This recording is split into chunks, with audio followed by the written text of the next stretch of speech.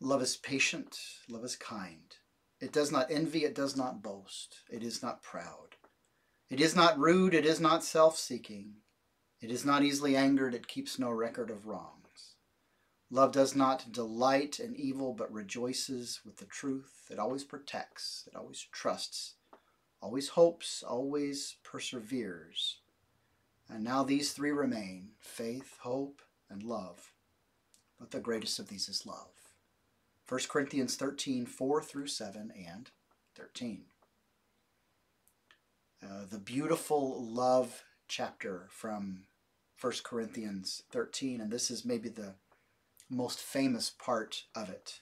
The sort of thing we would hear at a wedding, the sort of thing that hopefully we think about on a day like Valentine's Day.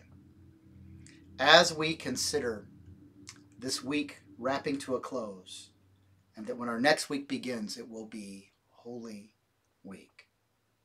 That what we consider is the very love of Christ that we will see, that is genuine, it is faithful, it is steadfast, it is sacrificial, and it is true. Biblical love is a verb. It's not just about our feelings, it's about our faithfulness, it's not just about our emotions, it's about our commitments. And there on the cross, there all week long of Holy Week, we will see the love of Christ.